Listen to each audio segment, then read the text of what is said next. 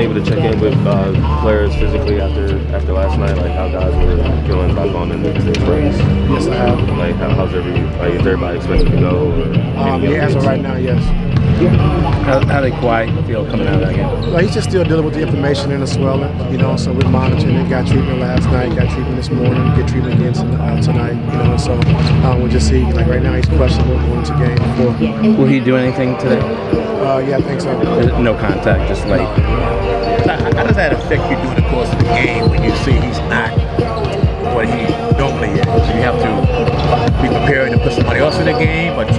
that he could at least get it done?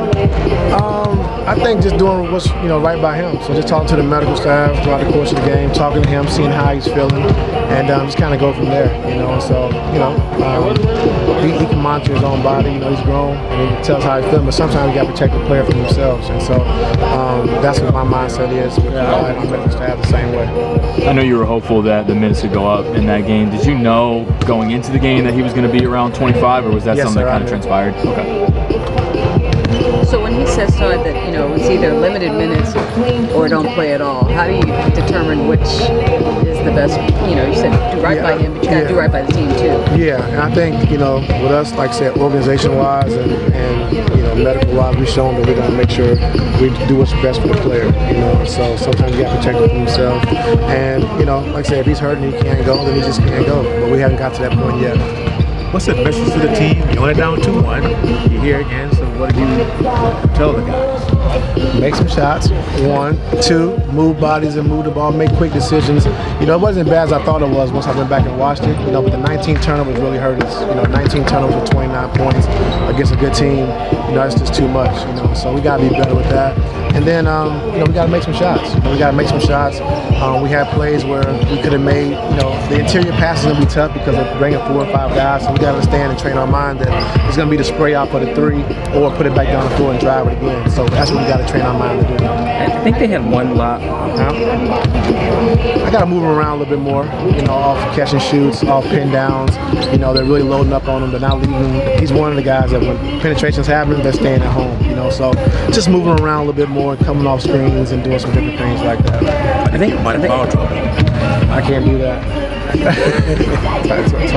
Uh, Paul talked last night a little bit about the, the, the fouls, you know, the, the little chippy I fouls. don't get into that. No, I mean, When you watch the game, do you see like it could, these, some of these calls could go either way? I don't even know. Okay. Yeah. Think they had one lob dunk in games one and two, and then of course all the ones they had last night. What happened? Um, you know, I think they got a couple, two from Luka, but they had 10 at halftime, and it came off the penetration. You know, we were overcommitting to the closeouts and letting guys drive by us, and now we're stepping up, and then that's when Gafford and Lively at their best, you know, at the rim playing that dunker spacing. So um, we just got to do a better job controlling the basketball in closeout situations, understanding who we want to run off the line and who we want to make shots and get them in the contest. How do you protect James? Um, just from a, a minute standpoint, a ball Well, yeah, standpoint? we protect James by PG not getting in foul trouble. You know that you know with Kawhi being on the restriction he was on and PG picking up those fouls. You know we had to get James back in the game. So we talked about that after the game. Like it's a trickle down effect. You know when PG picks up fouls, now James has to play more minutes. Now he's getting worn down. So we just got to just make sure, like I said, PG is doing a great job of not fouling and make sure we keep him on the floor. Do you think Kawhi can shoot threes in this, in this series? Kenny, what? Do you think Kawhi can shoot threes in this series? yeah, I hope so. I, I've been waiting to see it. Like he didn't even get an attempt up yesterday. Yeah, he can. Yeah, he can. Will he have restricted minutes restrictions tomorrow? Or will that still be to be determined? Yeah, to be determined. You know, it's always going to be a restriction. It's always going to be making sure we do right by him. You know, until he's you know 100. percent You know, and so um, right now we'll just see how he feels going into it. So I don't want to ask you to reveal any game plan adjustments or things like that going ahead, into the next ask me, go game. but uh, when they're kind of funneling the ball to Russ in the corner and he's taking those corner threes and they're not falling, what do you think is the best counter to that? Is it him cutting? Is it him attacking the open space off the catch? Is it getting Yeah, him on think, the ball? I think um, it all depends on the shot clock. There was a couple possessions where he caught it before on the shot clock, and Russ has shown he can make that corner three. But when it's you know 18, 17 on the clock, he can drive it and make a play because he's a great passer and he's good at getting to the rim and getting to the free throw line. So if they're not falling, just attack, make another play for somebody else. What, if anything, have you said to the guys about composure?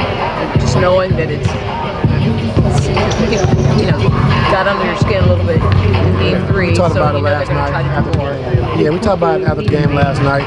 Um, keep your composure, and the best way to you know shut them up is play better and, and, and, and play the right way. So we'll be okay. not being a problem solver. Like, you got Kawhi, kind of, not Kawhi, PG, but right, PG guy, down to one, all that stuff. Like, you can like, Yeah, I mean, I'm not enjoying the, you know, what, you know, Kawhi's going through, you know, but, um, you know, he put in so much work to get to this point in the season not being 100%, you know, it's tough on him, it's tough on our team.